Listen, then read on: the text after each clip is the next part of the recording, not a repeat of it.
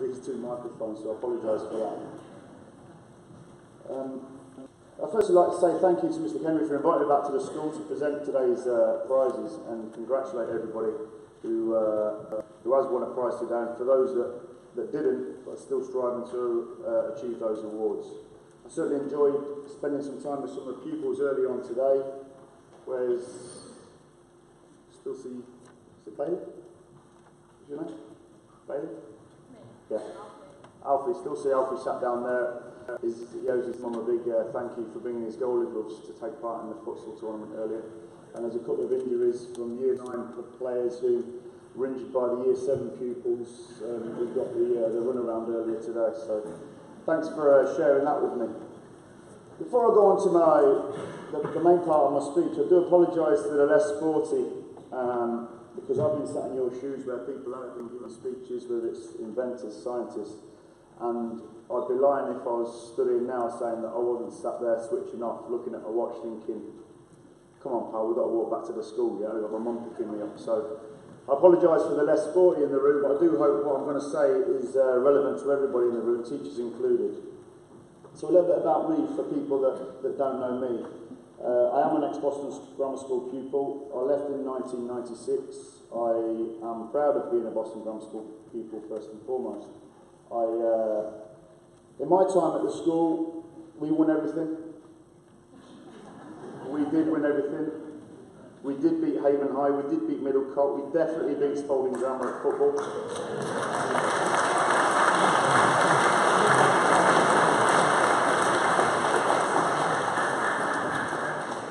Obviously, academically, we obviously wiped the floor with everyone in the school. I know um, my wife was a pupil at, at Haven High, and she um, Let's say I take care of the bills at home. I left school at 16 to become an apprentice at Grimsby Town Football Club, and only 15 months later making my professional debut age 17 against the not so popular York City. But I then went on to play for pre- sorry, I then went on to play professionally for 20 years, making near on 600 appearances, playing in all four professional divisions, and gaining four promotions along the way, two to the Championship and two to the Premier League. I was fortunate to play for Grimsby Town, as I said, Crystal Palace, Southampton, Bolton, Charlton, Carlisle United and Exeter City. Fortunate enough to play against the likes of, I have to actually think about this because there's people in the room that won't know the players that I played against. So, so yeah, I did play against Ryan Giggs, Steven Gerrard, Michael Owen, Wayne Rooney, Gareth Bale. I have been fortunate enough to play at Old Trafford, Anfield, Millennium Stadium, Highbury, White Hart Lane. Again, thinking of the players I played with, most people in the room wearing uh, black and uh, gold tie won't, won't remember all of them, but certainly uh, Adam Lallana's, Luke Shaw's, Oxlade Chamberlain's, Victor Moses, Nathaniel Clyne's, who still playing the trade in the Premier League. I was fortunate again to play under Alan Pardew, Mauricio Pochettino, Nigel Adkins, Neil Warnock, Trevor Francis for the older crew at the front and the back. And um, after retiring, I've then taken uh, the venture into a coaching career. Uh, my transition was smooth, going from playing at Exeter City and then moving into the first team coaching team, which I left 18 months ago to currently become the Southampton under 18s coach.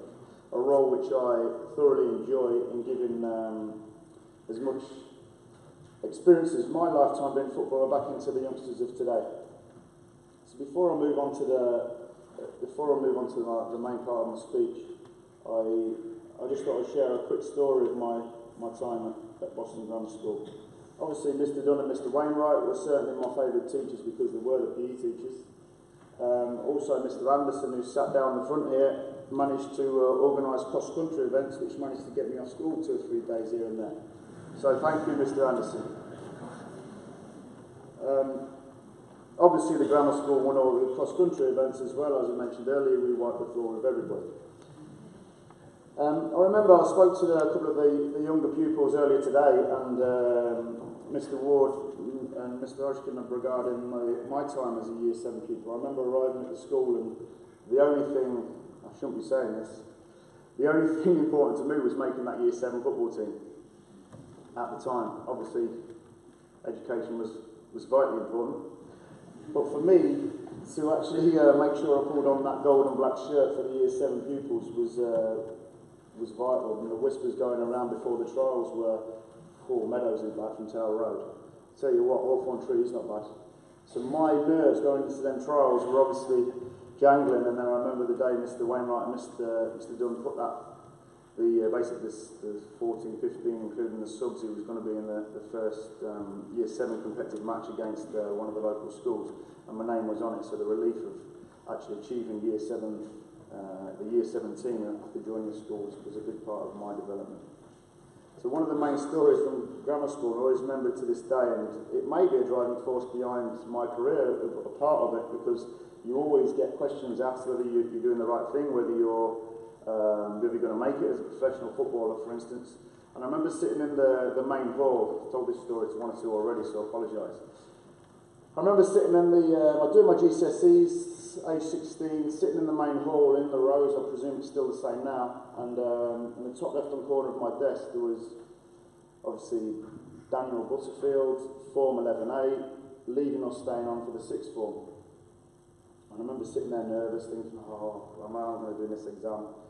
And then Mr. Fitton, an old English teacher who I never actually had teach me, quite an eccentric guy, bit of a curly moustache, always wore a bow tie, strutted around the school as if there was never a care in the world. And it was the sort of teacher I always wanted to teach me. But this day, he slammed his hand on the desk and said, Butterfield, leaving. I said, yes, sir. He said, why are you leaving school? I said, I'm, I'm going to go play football, sir. And he went, Bear in mind, I'm so nervous. The school hall's really quieting down because it's exam time, and Mr. Fitton went, ha ha ha ha ha So I'm thinking, oh my God. He said, You're going to play football? Can you not do that at the weekend? I said, No, no, no, no, no, sir. It's, um, it's to try and become professional, sir. And he said, Butterfield, you're making a big mistake, and walked off. So maybe this speech is for Mr. Fitton so when I, uh, I was asked to come back to the school by Mr. McHenry and, and deliver a speech, I tried to think of something, uh, uh, certainly a factor in my career, which, which I believe has, has got me to where, where I, uh, the things I achieved and where I am today. Certainly in life, words like determination, hard work, um, luck, being in the right place at the right time, having advice from colleagues, teachers, teammates, making sacrifices, being selfish. All these things are most definitely important, specifically hard work. But the main reason I believe that I made it as a professional footballer is, is my, my attribute of being self-driven. Now, by that I mean, to become a footballer, there's, there's always obstacles, there's always people doubting you, there's always the belief from you as an individual but for me to get to be to become as good as I did, obviously to the level of reach to be able to play professionally, I do believe it was driven from me. And I don't think this is where obviously I apologise to the non-sports, but I think it's relevant to everybody in the room, teachers included still today, that you need to be self-driven. You can't be relying on the teacher telling you to shut up at the back of the class because you actually keep throwing your pen about. You can't be relying on your parent stood on the sidelines for me in football saying, Danny, run back. You need to drive it yourself. And even today in coaching, for the players that are going to make it, I believe it's the ones that are self-driven, the ones that don't require that extra push, the ones that do go out every single day and work as hard as they possibly can. I sat watching Mo Farah receive his uh, award for the sports personality uh, the other evening, and I guarantee you that Mo Farah never used to turn up to the running track and have a nice little skip around it thinking, I'm going to be on the podium one day. He drove himself. It was him who was in control of his hard work. So whether you want to become a musician, Harrison was playing there earlier? Very, I enjoyed that, very good. So whether you want to be the next Harrison, whether you want to be a teacher, whether you want to work in Tesco's, whether you want to uh, go to university and become an inventor, whether you want to become a scientist, whatever you want to become, you drive it. You drive getting there. You be the one that believes you can get there, and you be the one that drives it. Don't rely on anybody else. And then I believe that you can go and achieve it. And as I said before, there'll be obstacles. There's definitely obstacles in my career, being released by Leicester at 16 and then having to go and trial at Grimsby. But again, through adversity, it was me that was driving myself to become the person I am today. And that doesn't stop. It never stops. I'm sure there's teachers who sit in the room today and there's most definitely pupils that really annoy you. Because I have it with players in my academy right now. But you have to drive yourself to continue to do the best job for the youngsters who you're trying to teach. So it affects everybody, and it will never stop. It never stops for me to this day, where I still aspire to be a first team manager somewhere in the country. And it's something I will achieve, because I'll drive myself to go and achieve it. So before I blabber on any more and you start falling asleep or looking at your... Did you just look at your watch? before you start looking at your watches with that hike back across town, Again, I'd like to thank Mr McHenry for, uh, for inviting me back to the school. As I said right at the beginning, I am, I am proud to be an ex-Boston Grammar School pupil. I do fly the bag, uh, sorry, I do fly the flag of Boston Grammar School, and I'm proud to do it, and fly the flag for the town. I congratulate everybody who's received an award today, and I also congratulate the others that drive yourselves quietly to become successful in whichever career you wish to take. Thanks again for the invite, and I wish you all a, happy 2018.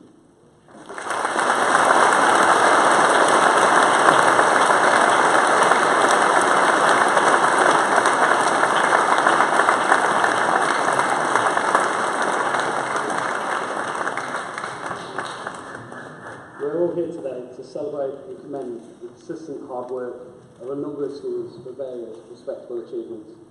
A number so vast that the school takes pride in annually hosting this ceremony to congratulate these students with the credit they all deserve. And I'm certain that every single one of your parents, carers and friends share that pride with the school, as they rightly do. However, there is one person here today whom I've been asked to talk about in particular, who I'm sure has endless experience of making himself, his loved ones and our school proud. And that is our own Danny Butterfield. For those of you who don't know already, Danny is now an assistant coach at Premier League Club Southampton, as he said, after formerly making a professional career playing for a collection of highly successful clubs, including Crystal Palace, Charlton, Bolton, Carlisle, Exeter, and Southampton themselves. Despite being born and raised in Boston, Danny began his youthful career at local rivals Grimsby Town, although going by how Boston played, who can blame them? As well as contributing to an accumulation of team accomplishments, Danny has a selection of very respectable individual achievements, including scoring his first senior goal in the club's 1-0 Football League trophy victory over Hull in the 97-98 season for Grimsby, scoring a perfect hat-trick in a time of 6 minutes 48 seconds against Wolves in the 2009-2010 FA Cup fourth round replay, a club record which he holds to this day as he played as a makeshift striker. And being part of the Grimsby team that defeated Liverpool in the League Cup in the 2001-2002 season.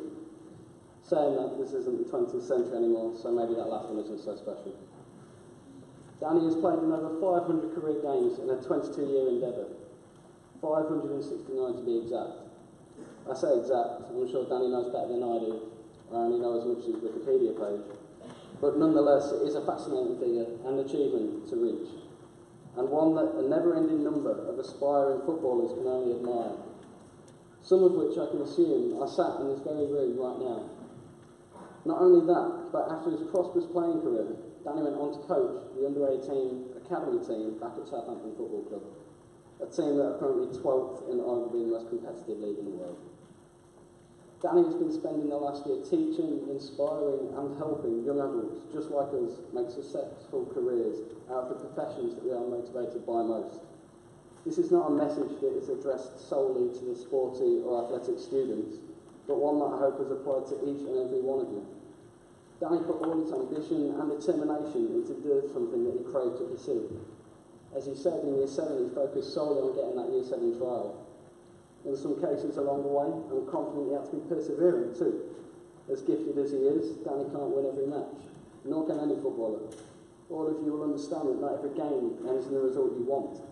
Nobody can make the right choice or do the right thing every single time. That doesn't mean you've lost. We still have hundreds of achieving students who should feel honoured to be collecting their prizes today, as well as our guest speaker, who despite not winning every game he's ever played, has still had a has still had a remarkably successful career that we can only admire.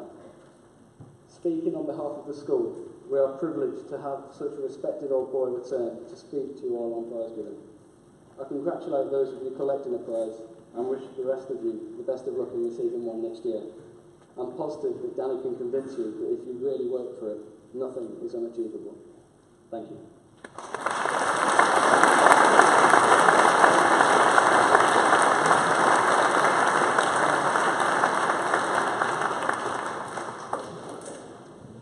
Um, this speech is dedicated to a man who has managed to make something of himself.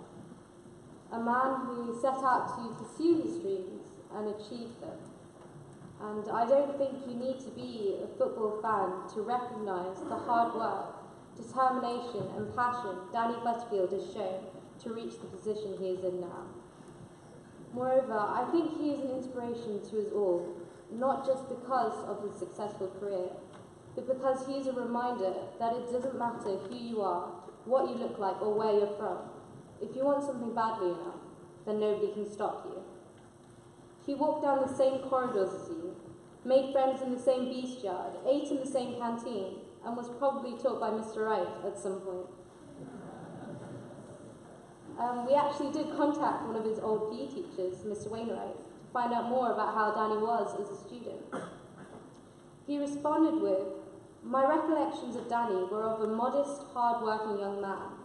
He was a talented footballer, but did play other sports, including a game of rugby sevens for the school team. He even went on to wonder, did he choose the wrong career? As a student at Boston Grammar School, he was no different from any of you, and I am so proud that our school has such a great motivational example of what can happen when you recognise your true potential. As Walt Disney once said, all our dreams can come true if we have the courage to pursue them. And now we would like to present you with a trophy um, as a token of our appreciation.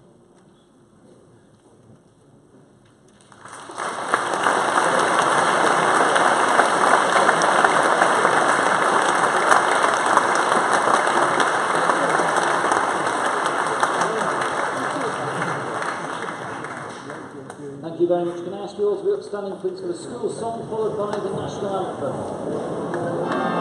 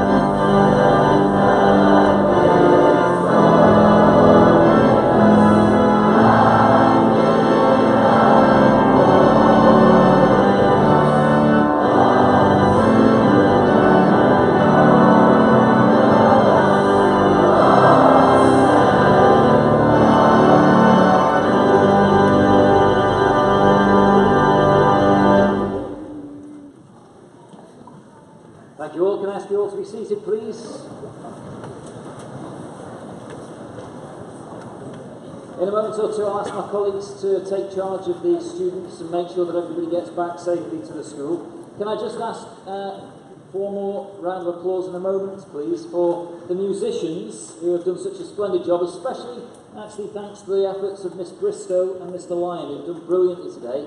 Can I have that one last round of applause, please?